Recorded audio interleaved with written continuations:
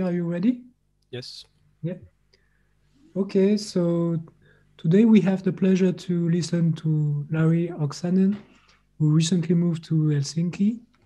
He will speak about uh, space-time finite element methods for control problem subject to the wave equation. And for the audience, please um, turn off your microphone during the talk. Thank you. Thank you. Thank you, Sylvain. And I would like to thank the organizers for the for the invitation to give this talk. My background is not really in, in, in control theory, although I've been a user of control theory for a long time. and only re very recently, I have uh, really uh, worked with uh, control theory problems. And, and this is uh, very exciting to give this talk now in this control theory uh, seminar. So I'm going to speak about uh, numerical analysis of, uh, of the control problem uh, for the wave equation. And this is based on uh, joint work with uh, Eric Burman, Ali Feizmohammadi, and Arnaud Munch. Uh, so this is the, the problem that I will I will focus on. So this is what you often call distributed control problem for the wave equation. We can also uh, extend these results that I'm going to talk about to the case of boundary control, but uh, that is uh, more technical and the results are less clean. So in this talk, I want to focus on this distributed case. So the problem formulation is, is as follows. So we have some uh, time, amount of time that you use uh, for controlling the equation called capital T. Uh, the equation is posed on a spatial domain called omega. We assume always that it's connected, bounded, open, and the, the boundary is smooth. And then there will be a cutoff function called chi that localizes the control to some uh, region, smaller subset of this uh, omega. And I will specify the, the assumptions on the cutoff function a bit later. But uh, the rough formulation of the problem is that we fix an initial state u0, u1, and we want to find a control function phi here on the right hand side of the wave equation localized with this chi such that this control drives the solution to the wave equation to the zero state at time capital T. And this is of course very classical problem and uh, in a sense perfectly understood in the theoretical level we know that the problem has solution under the geometric control condition that I will just denote by GCC. And this goes uh, back to the famous work of uh, Bardos, Lebeau, and Rauch. So let me just quickly recall how this uh, uh, condition is formulated. So we say that a, a cylinder uh, in this uh, large space-time cylinder smaller cylinder inside this large cylinder satisfies geometry control condition if every generalized light ray intersects it. So what I mean by this is that, um, well, here is a schematic. So in the schematic, uh, we have time axis is the vertical axis, and this is just like one plus one decays, and then space is the horizontal one. Uh, the, the light rays are just lines that have 45 degree angle with the time axis. So uh, this uh, orange line here, broken line, is a schematic of uh, a generalized light ray.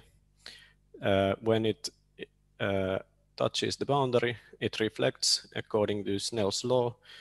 Um, but then one needs to be a bit careful what, what happens if you have tangential contacts with the boundary. So it can start to glide as well. And, and, and the case of uh, infinite order of contact is even more complicated, but let me not go into this sort, of details now. So this is just the, the typical condition in this famous paper. Um, so here in this picture, these black lines stand for uh, the lateral boundary of this large cylinder. So this is the, the set this time interval across the boundary of the spatial domain. And this blue region is then the smaller cylinder AB across the small base omega. And the idea is that all these broken lines with 45 degree angle must touch the uh, blue area. So for instance, the sort of the worst case is something like this. So you have a line here, then it reflects. Oops. Let me try to draw a line like this. And then it again uh, reflects. So we see that in this picture, the, the, the condition is satisfied because no matter how you draw this sort of broken line, it will always have to intersect this blue region. Now the this this um, condition then implies what is called the observability estimate, saying that uh, if you look at the solution to the wave equation with some uh, initial data, then the size of the initial data can be bounded by the size of the solution restricted into the blue area.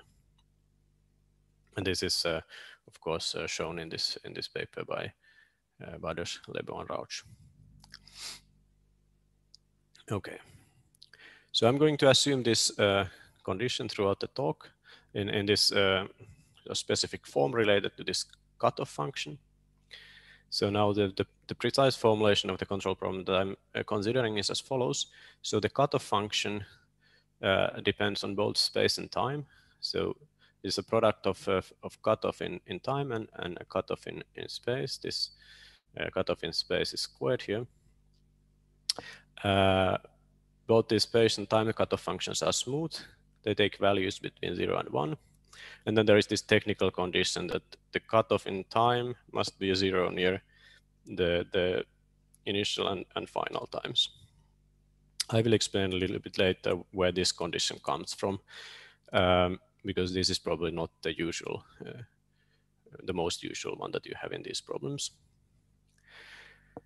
And then uh, the geometric control condition is tied to this um, cutoff function by saying that the cutoff function must be one on an on a cylinder that satisfies the geometric control condition. And this uh, this assumption A will be a standing assumption in the in the whole talk. And then of course, this assumption implies that the problem has a solution. So here is now just the, the same control problem repeated. And moreover, uh, the geometric control condition actually implies that if uh, you have smooth, compactly supported initial data, U0, U1, then there is a smooth control uh, driving the solution to the zero state at, at time capital T. Uh, while the solution is, is not uh, unique, I mean, this control function phi is not unique, uh, but you can then consider some uh, minimal minimum norms uh, controls. So for certain minimal control phi, what we do in this is in this work, this will be the, the focus of the talk.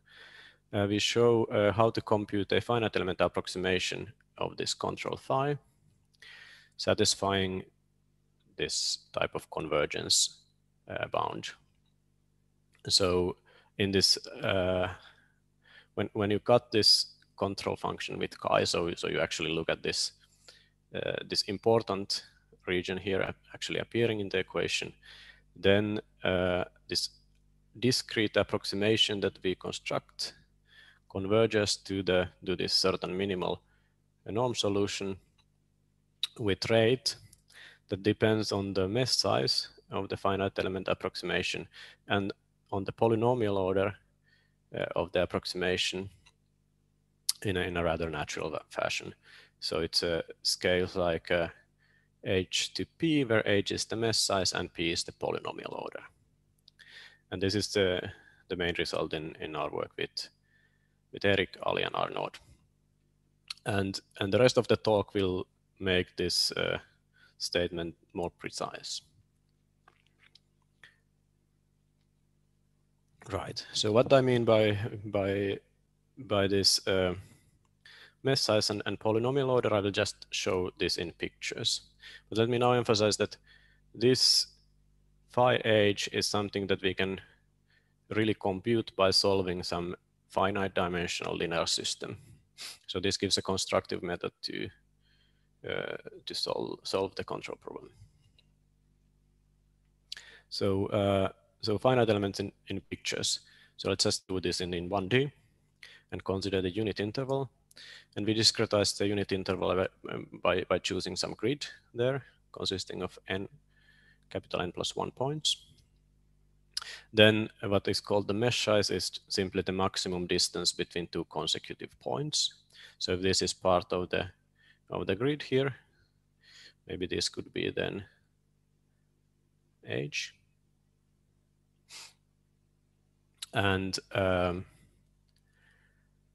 and then the polynomial order looks like this. So here I've sketched uh, two uh, basis functions in the case of polynomial order one that intersect this, or who support intersect this uh, middle grid cell here.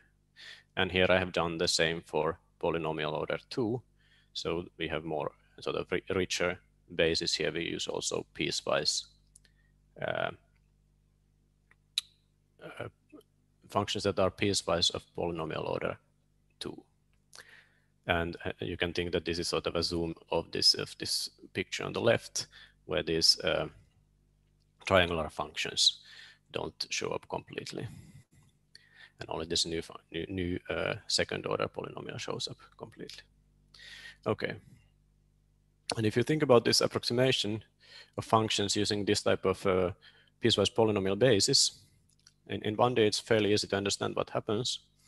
Um, so for instance, if I have a smooth compactly supported function in 1D, and I want to approximate it in a finite element basis, uh, then the best possible approximation, or let's say a good approxima approximation, uh, will converge to this uh, smooth function with a rate uh, h to p plus 1. So the mesh size to power of polynomial order plus 1, which is fairly easy to understand if you look at this sketch.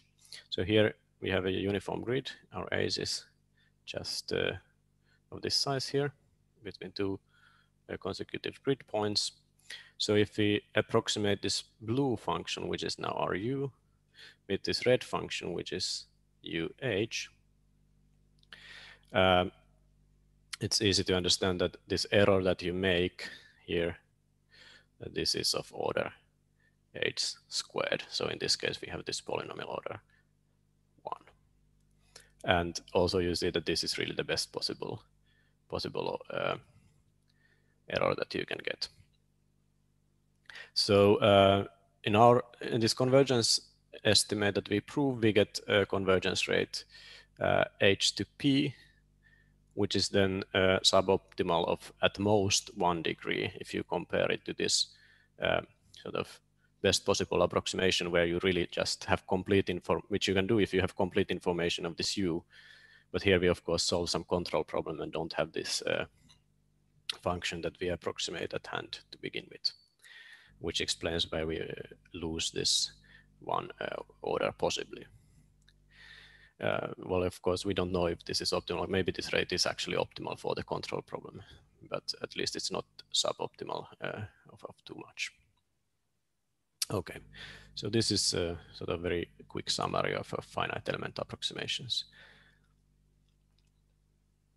Now, um, let's let's have a look at the the previous literature on uh, on numerical analysis of, of this type of control problems. It has been known for a long time that uh, these are not that easy problems to solve computationally. So if you do some naive discretizations of the control problem, they may fail to, they may fail to converge due to uh, spurious high frequency modes. And this was observed by, by Glowinski and his co-authors in a series of works in 90s. And here I'm just referring to a very nice review paper in Acta Numerica by Glowinski and Lions. So for me, this was a very good place to start uh, learning about this, uh, this sort of early, early history of the topic. And after this observation, there have been two uh, approaches to to remedy these these problems or, or solve these problems. And uh, first of these is, is that you, you can try to recreate the control theory that you have in, in, in, in some Sobolev spaces, let's say, uh, on some uh, discrete spaces given by, let's say, a finite element approximation. And you need to do some uh, filtering of high frequencies because of these spurious high frequency modes. Um, and there have been uh, theoretical work on, on, on uniform meshes where you can, um, in fact, uh, develop this control theory and the, the sort of, in a sense, I guess, directly on the, on the discrete level. Uh, and to my knowledge, the first work of this kind is by Infante and Zuazua from 99. And there, there are lots and lots of works. I cannot uh, review them all here. Uh, and there is another way to, to get discrete control theory. Namely, you can somehow derive the uh, derive discrete version of control theory from this usual continuum theory by using some spectral type uh, estimates. And uh, this is a result by, by Sylvain. And also, uh, it, it, I think it, this result by Sylvain relies on some uh, work of, of Miller, and then Miller also had a look at this problem by himself. The problem with this approach is that it uh, it loses track of this uh, time capital in my notation capital T that was needed for the for the control.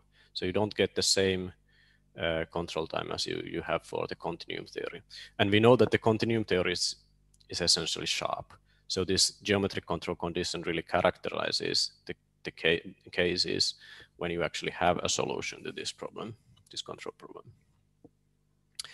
Uh, now this other approach is to uh, formulate some sort of iterative method in the uh, for the for the continuous problem before discretizing it, and then just discretize this uh, iteration. And there have been at least two different uh, approaches based on different formulations in the continuum. So there is one by Sindeamnik, and Tucsnak, and one by uh, Sylvain, Ervedoza, and, and Zuazua. Um, now, the problem with the second approach is that uh, when you discretize an iteration, you pick up some uh, discretization error at each step, and this error can accumulate, and the iteration can actually start to diverge.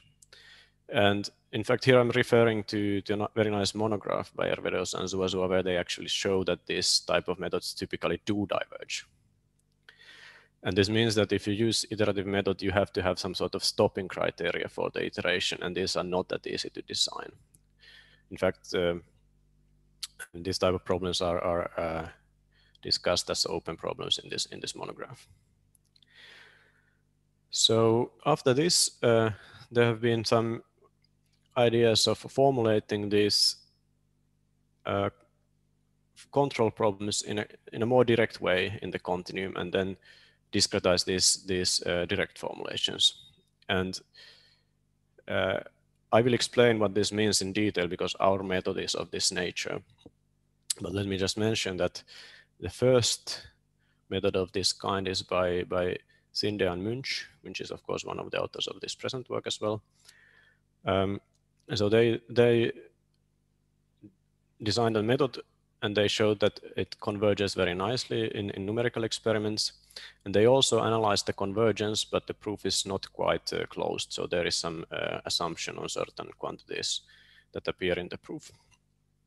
Um, and this, their formulation is, is based on using finite element basis in, in, in space and time simultaneously. So what is called space-time finite elements. And this is also uh, the approach that, that the present work takes. So, so I will explain this in detail a bit later. Uh, so what we do in this work is, is also, as I said, space-time finite element method. We prove convergence, as I already indicated. And I mentioned that we also have an earlier work with, uh, with Eric and Ali of, of sort of similar nature, which is not using space-time elements, but instead it's using uh, affine mm, piecewise affine finite elements in space and finite differences in time. Uh, but this work is somehow conceptually much, mm, or it's it's it's more technical and also yeah somehow on the conceptual level more difficult than uh, the space-time formulation, which is uh, actually quite slick as I I will try to to explain. So this is maybe some sort of uh, narrative how to how we ended up into this uh, type of methods. And maybe this is indeed how, how Arnaud uh, ended up doing this method. Mm. But we, the rest three of us, we actually approached this problem from a completely different angle. Uh, we were we had developed some um, numerical analysis to the dual problem for the control problem. And let me now uh, remind you of, of this uh, dual problem. So, uh, so the dual problem is is is an inverse problem, and, and my background is really in inverse problems. But this duality is nothing else but the usual duality that you you see in in the in these uh, proofs that show that um, observability estimate implies that the control problem has a solution. But let me just quickly still recall it. So I define a map A where I solve this initial value problem for the wave equation and then just restrict it on the, the, uh, let's say on some sort of observation domain again given by some by this small case omega. And then the transpose of this map A is also associated to a solution to the wave equation. So now we have a source on the on the right hand side. We solve this equation and then evaluate starting from this zero uh, final condition and then evaluate the solution at the initial time. And here f must be supported in the same region where uh, you observe uh, in this A. So then, of course, observability estimate is saying that this map A is injective in a continuous fashion. And then uh, a simple functional analytical argument says that um, the dual is surjective. This is, of course, why this observability estimate implies that you have a solution to the control problem because surjectivity then means that there is F driving um, the state to, to, to whatever you want. Um, so why I want to write this in this sort of in this detail is because I want to emphasize that this this problem here, this injectivity of A, is is what we would call inverse initial source problem. So, or let's say inversion of A is what we would call inverse initial source problem. So we we think that we don't know the the initial data. We have instead this observation and we want to recover the initial data. And this uh, observability of uh, estimate, of course, then shows that this inverse initial source problem has a solution and it's also stable. So, so this is just a, a, formulation of this inverse initial source problem. So we want to find the initial data given this observation for the solution to the wave equation. And instead of thinking that we recover this initial uh, data, we can just think that we recover phi everywhere. Because of course, if you know the initial data, then you know phi everywhere. So another formulation that is more of unique continuation flavor is that given this phi in this thin cylinder, find phi in this larger domain. Um, so we have been studying numerical analysis for problems of this form. So you want to continue a solution to PDE from a small set to a large set.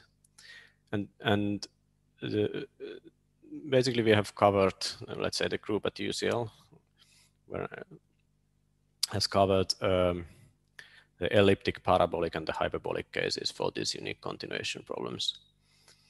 Uh, starting from this elliptic Cauchy problem uh, by Eric, and then we did with Eric and Jonathan Ish-Horowicz, uh, the parabolic case, and then with uh, Eric, Ali, and Arnaud, uh, the hyperbolic case. And this is, of course, uh, strongly related to to Mihai Nechita's talk, who, who is also or was part of this group at UCL. So last week in this seminar, he uh, talked about these unique continuation problems for uh, Helmholtz equation and for convection diffusion equation. So also he's using uh, similar, similar techniques as I'm going to discuss today. And in his case, he was interested in know, quantifying the, the estimates um, explicitly in terms of physical parameters in the problem, which is something that I'm not going to focus on today. Okay. So now I need to recall some uh, some uh, results for the continuum problem, for this continuum control problem. And in fact, our whole uh, finite element method is, is building on this result by Ervedoza and Zuazua that says that a certain minimal norm solution to the control problem is smooth if the data is smooth and compactly supported. In fact, uh, you can have a more technical formulation with some limited Sobolev smoothness, but then you need to discuss also the, if you want to have a sharp result, then you need to discuss also compatibility conditions. And I don't want to enter into that. So let me just, for simplicity, assume that everything, uh, that data is, is smooth and compactly supported.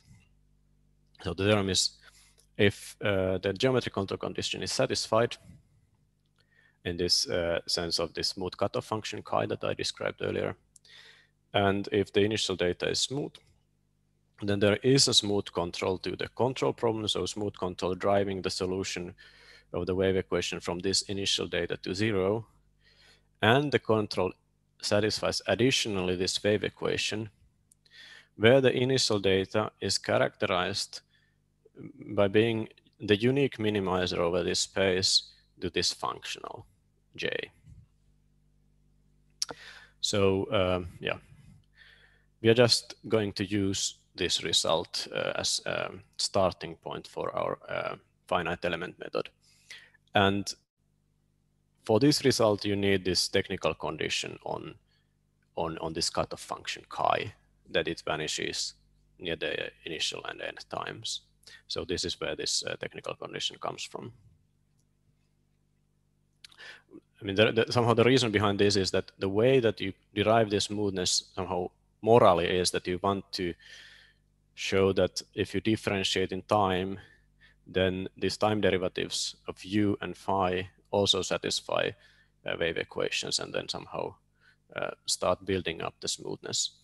And, and this trick then requires somehow the, that you are able to differentiate nicely also near the initial and end times, which then uh, explains the smooth cutoff near that those times. Okay. But we are not going to, I mean, use somehow the full uh, formulation of this problem. Instead, we are going to just somehow throw away this additional piece of information about the uh, initial conditions. So we are just going to look at this system where we, we look at the, the constraints coming from the control problem. So U is a solution to the wave equation with this control on the right hand side. It has zero boundary condition uh, and it starts from this uh, prescribed initial state and reaches the zero end state. And then the control satisfies the wave equation. So here this box is just the wave operator. Uh, with zero boundary condition, I just forget this. I choose to forget that I also knew something about the initial conditions of phi. I just throw this piece of information away. But uh, this result anyway then implies that there is a smooth solution to this problem, assuming again, of course, GCC and uh, a smooth compactly supported initial data.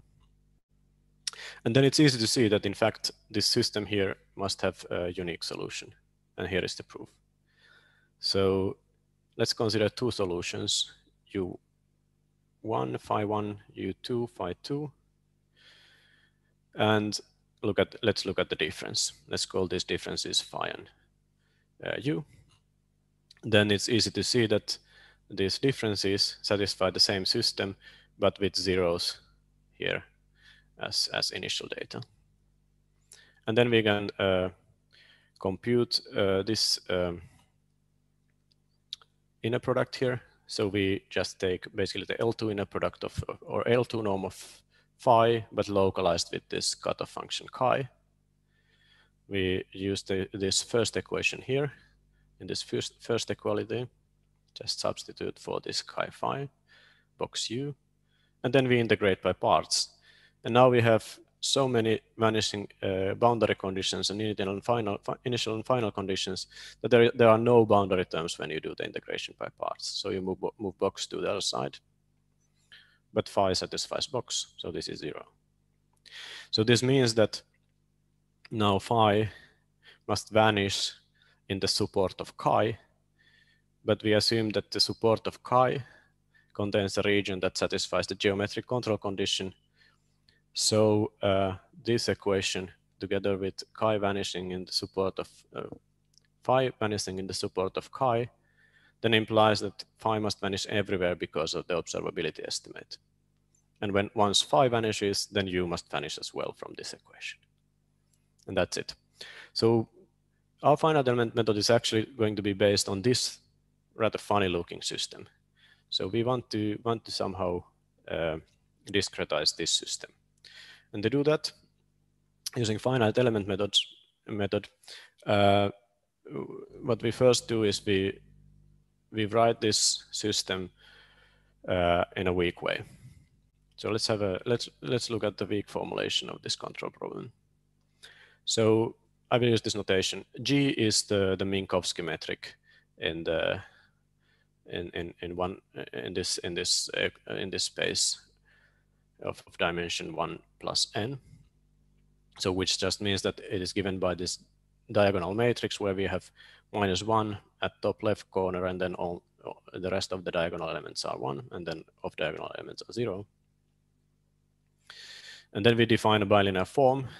So I'm take the Minkowski inner product of the space-time differential of, of uh, our two input functions u and v.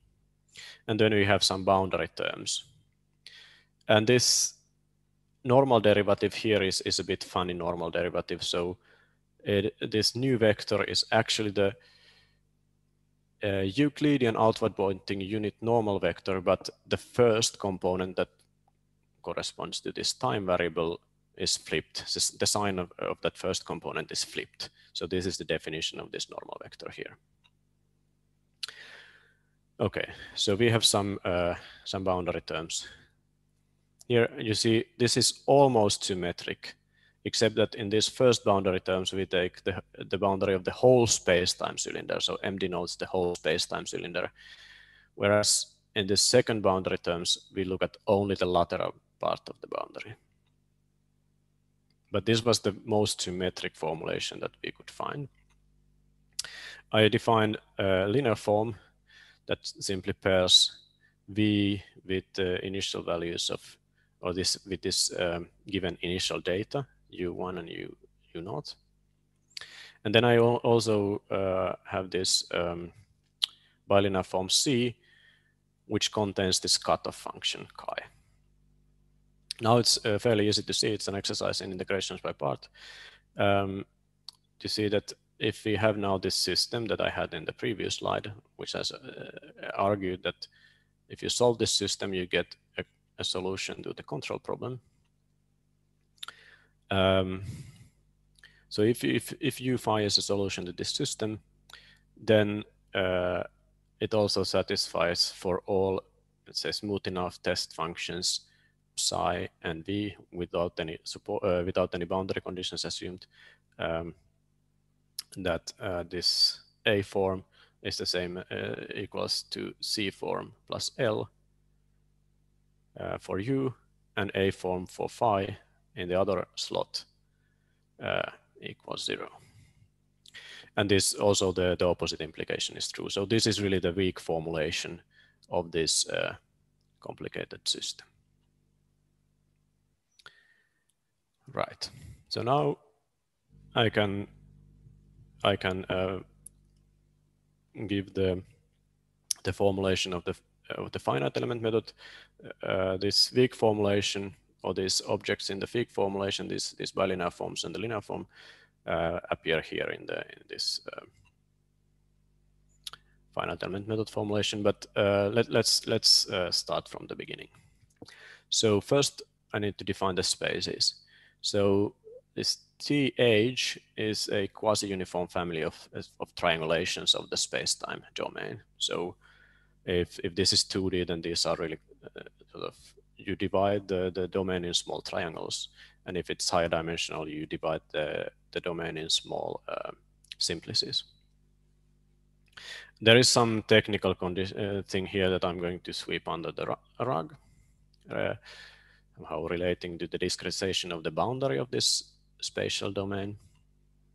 Here, uh, h is the mesh size of this, this uh, of this triangulation, so it means the the diameter of these triangles appearing, and then by p p over k, I denote the space of polynomials of degree less or equal to p on some set in this uh, uh, in this one one plus n dimensional space.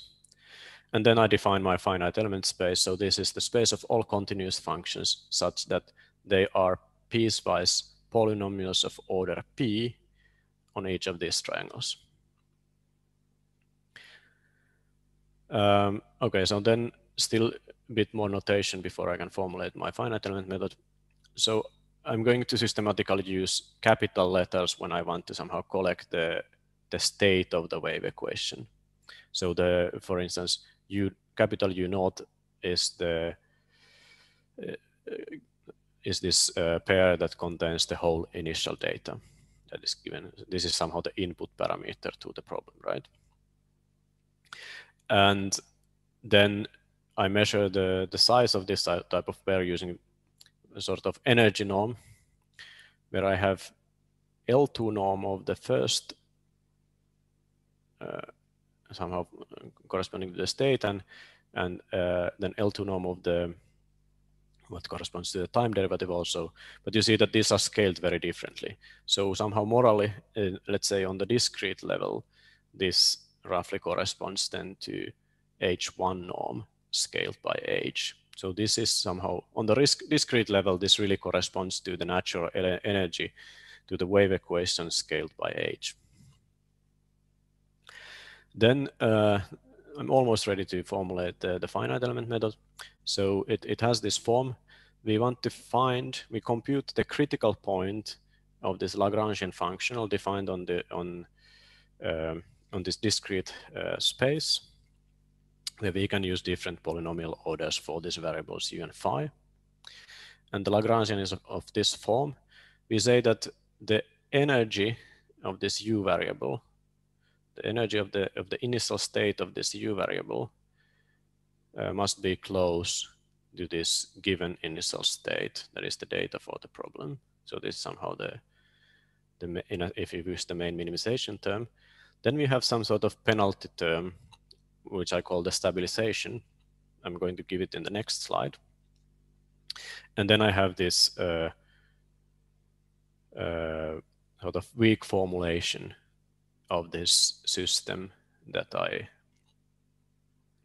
I described in the previous slide. So roughly speaking, this, this Lagrangian tries to say, minimize this energy difference under this PD constraint uh, and some uh, additional penalty. So um, let's have a look at this additional additional penalty. This is really the, the, the core of the method. And I guess, I mean, this is probably related to, to filtering of high frequencies that uh, I already mentioned in this, uh, in this context of previous results. And that was also discussed last time after Mihai's talk. But um, we haven't really made a formal connection, but, but heuristically, this is some sort of implementing some sort of high frequency filtering. So um, first of all, a little bit more notation. Um, we write for write uh, for the set of internal faces of this triangulation. And then we use this bracket notation for, uh, for the jump of some quantity over, over an internal face in the triangulation. And then the, the stabilization, this quadratic form giving the stabilization is, is given by this. So we sum over all the triangles, uh, this type of norms that that contain the wave operator, both for, uh, for these u and phi variables. Then for both u and phi variables, we also penalize uh, using this type of bilinear form, where now we have these uh, jumps appearing. In a sense, this is maybe the most important term in this stabilization. This is really the magical term to me. Um, so what we do here is that we penalize the jumps of these normal derivatives across internal faces. And everything here is somehow scaled in a, in a delicate fashion with some powers of the mesh constant. So there is also then these sort of uh, terms that penalize the, the value on the lateral boundary. And then we also penalize the final time energy of the of this u variable. So what is important here is that uh, if we have a solution to this system that I described earlier, then if you plug in this, this solution to this quadratic form Q, you actually just get zero. You see that all these terms are chosen so that for a solution to this system, they just vanish. Uh, let me emphasize for a smooth solution because this term here vanishes for smooth solution. So this is somehow uh, imposing some sort of smoothness. And maybe this is somehow the term that is responsible for most of this high frequency filtering. Okay, so now I actually have described all the building blocks of this uh, method and I can I can give the uh, the precise uh, result that we have with Erik, Ali, and Arnaud.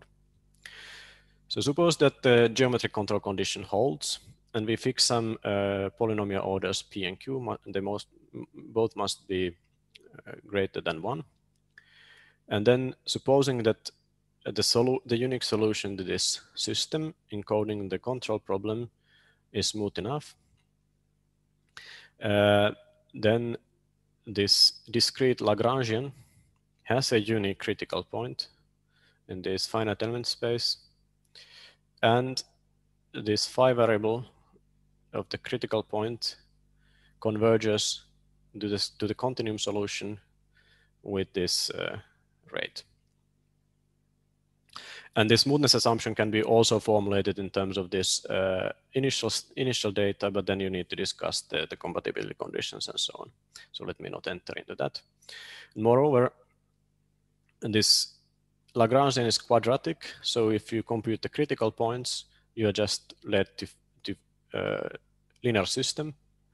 The linear system is imposed on a finite dimensional space. So, so it's just a matrix system and you can implement uh, a computer program to solve it. And in fact, you can do this in practice, although uh, this work is still somewhat in progress and I cannot show you uh, numerical results for this problem yet.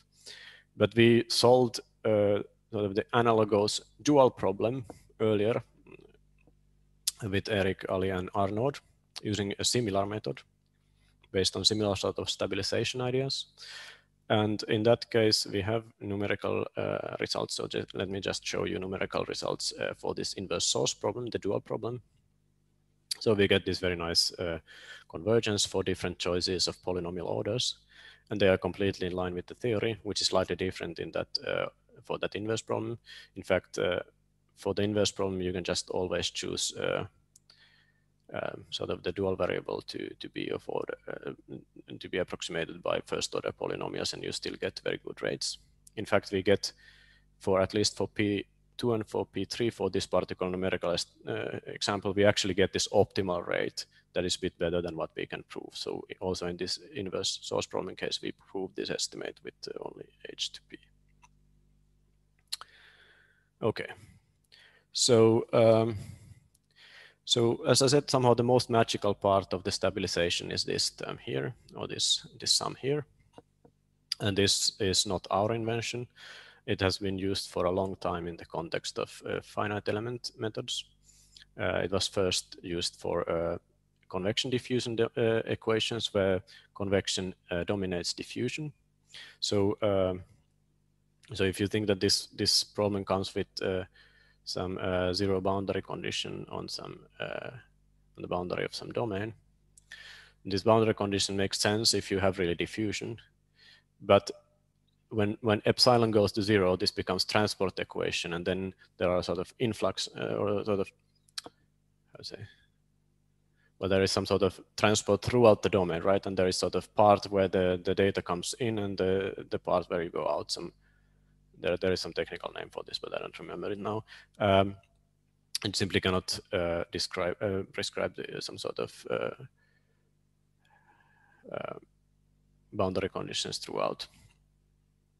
Uh, and and uh, when this epsilon is small, you typically get these sort of very sharp boundary layers, which are hard to resolve numerically. And to do these things numerically uh, in a in a stable way, this type of uh, stabilization was was introduced by Douglas and Dupont. But it wasn't used, I guess, too much uh, because some other ideas took over. But then Erik uh, Burman and Hansbo, they they analyzed this again and then there is a series of work that leads to, to, to the present work. So this is somehow one other historical context for, for this work. And this type of ideas have been used for different equations, including, for instance, the Stokes problem. Okay. So let's see. So maybe I can still say just a little bit about the proof. I have still a couple of minutes left as far as I understand. So um, and I'm going to say something about the proof, but only for this case of polynomial order one, just because it is notationally a bit simpler. So in this case, we can just uh, rewrite the Lagrangian because all these um, terms involving the wave operator are simply zero. They were defined on, on each element, and on each element, uh, these u and phi are just affine functions. So if you hit them with second order derivatives, they will just vanish. So those terms are actually not present. And then I, I have thrown away one other term to simplify things because it's not needed in this case. It's completely dominated by this C term here. Um, now, if I write uh, the equation for critical points of this Lagrangian on this uh, finite element space, uh, well, I just differentiate. So let's see if I differentiate in U, to the direction of v. For instance, this term I get this SUV, and from this term I get a v phi and so on. And then from this energy, I get, this is quadratic form, I get the corresponding bilinear form that I called small case e. Coming from here and here, I get two of them, and, uh, and so on. So it's easy to see that uh, the critical points can be written in, in this fashion. So you have some test functions, v and psi, and uh, these equations must hold for all these test functions. And I can also uh, now write this in a, in a shorter form by just summing these two equations together. And I do that. And then I move all uh, quadratic terms to left, all linear terms to right. And then this defines a bilinear form that I call A. Now, what I want to now explain about the proof is that this discrete system has a, uh, unique solution. So there is a unique solution for this equation here. And why is that? Well, if you think about this system, it's just a linear system for uh, in, in a finite dimensional space. So it's a matrix system. If you think about the number of uh, unknowns, it's the number of degrees of freedom in u and phi.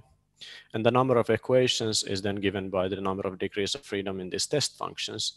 And these u phi and v psi are in the same space, so there are equally many degrees of freedom as there are equations. So this is, in other words, a square system of linear equations. So for a square system, then of course, existence is equivalent uh, to uniqueness in the finite dimensional case, as here. So what we really need to show is that uh, if I put right hand side zero, then the zero solution is the only uh, solution. So, so let's assume that the right hand side is zero and let's compute. So recall that this uh, bilinear form A is given by these expressions. And what I'm going to do, I'm going to plug in a test function that is of this form. So, um, so I just take u and negative of phi. And you see with this choice, these two last terms will cancel out. And this, by the way, explains why we have uh, this sort of, why in these regularization terms, we sometimes have plus and sometimes have minus in front of the terms, because now with this choice, we get only positive terms. from this first line here. And we collect these, I mean, uh, collect these positive terms together and say that they, they define a norm that we call triple norm. And this, well, what we really need to show in order to show that this system has a unique solution, we need to show that this triple norm is actually a norm. And that follows because, well, all these terms are positive, they must be separately zero. This term here, you recall, is nothing else but chi phi squared integrated in space-time.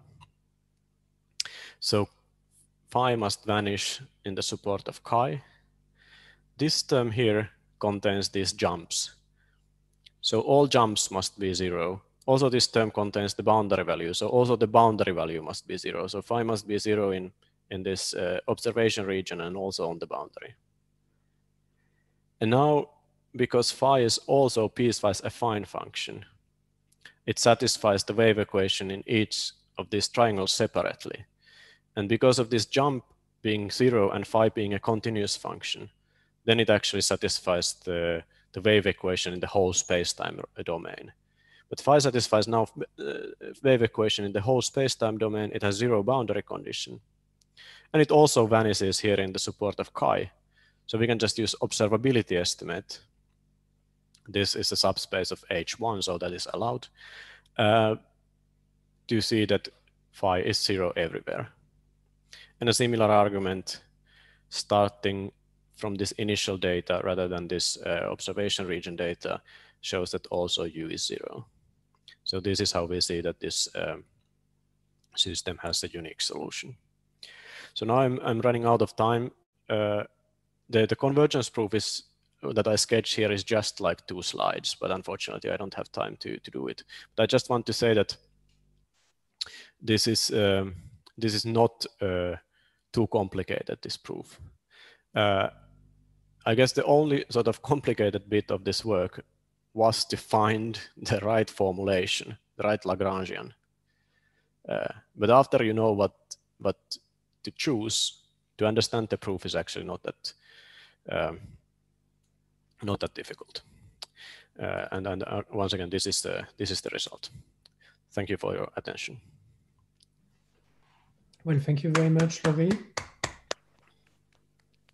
So I'm sure everyone uh, joins me in the applause.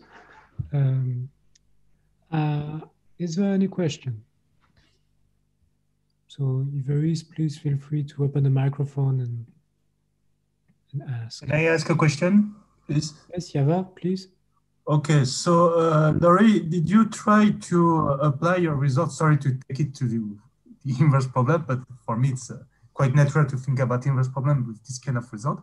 Did you try to consider the reconstruction result for inverse problem, like the, the acoustic inversion for multi-wave problem, which correspond to, so you didn't consider boundary control, uh, internal control, consisting in, but if you push it to boundary to recover boundary measurement, the initial pressure, you, you have yes. kind of things? Yeah, yeah, yeah. So basically, basically this numerics that I showed you is exactly this this problem where you want to okay. recover the initial initial state given some data on on on a subdomain. Um, let me think. I mean, we can, as I said, we can do these things on the boundary, but uh, the results are a bit more messy, and I don't think that we get. Uh, I mean, it seems that we lose some uh, order of convergence there, at, at least at the moment. This is this is what we get. I'm, I'm, so, but but I think these type of methods can be pushed also to these questions where you have data on the boundary, which is of course maybe the really the the most usual formulation and maybe at least from the point of view of inverse problems, the, the physical formulation as well. Okay, thank you. Thank you. Are there any other question?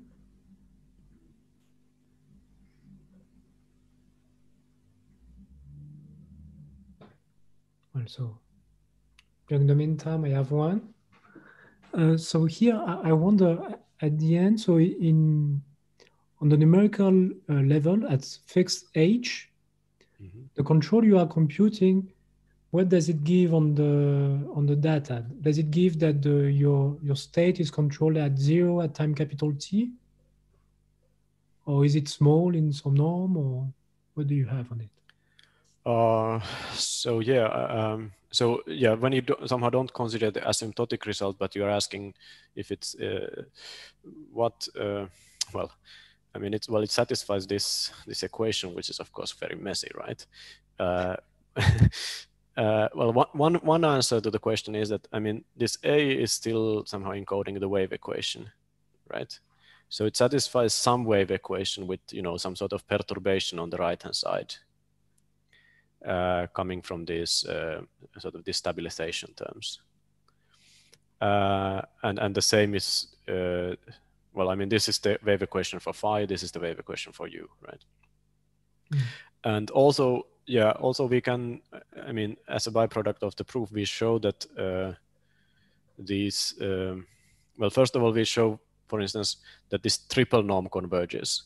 So all, all the, uh, these bits coming from the from the stabilization, they converge to zero. So you have you're sort of perturbing the wave equation, but the perturbation then asymptotically goes to zero. Um, yeah, maybe this could be sort of studied even even further but um, but yeah, I mean, if you if you solve a, a, wave equation in the discrete level, right? I mean, I mean, you, you, never really solve the continuum wave equation anyway, right? You solve some sort yes. of discrete mm -hmm. projection, right? That holds in the sense that you test against only discrete functions, right? So of course there is this aspect as well, and and I guess I mean, looking at from that that point of view, I mean, we are just you know perturbing now the, the discrete wave equation, but I guess we are not perturbing the sort of the continuum wave equation much more than what you would perturb it anyway by choosing some discretization. That is some, I guess, one one way to look at this. Yeah. Okay, but at, at the end, your states U H at time capital T. This is something of order of H uh, oh, yeah, this is what you're asking. Exactly. Yes, uh, let's let's see. So we know that this this energy at capital T is going to converge to zero with some rate, right? Mm -hmm.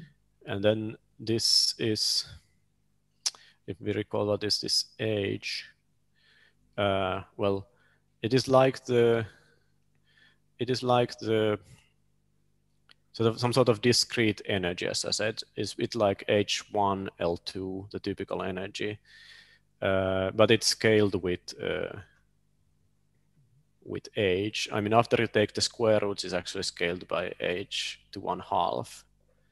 And then if you sort of combine this with the with the convergence estimate, you will see that this this energy, I mean, without h, goes to zero with rate, where you I guess lose one half, uh, one half, uh, so h to one half compared to this HP that we have in the for for the control, right? Be because of this age in front of the the norm. So so yeah, I mean, again, I mean, this is everything that I say is sort of something related to the asymptotic behavior, right? Yeah, sure. But but somehow, yeah. So so I mean, the the final state will be small. Hmm. Okay. Uh, thank you. Is there any other question?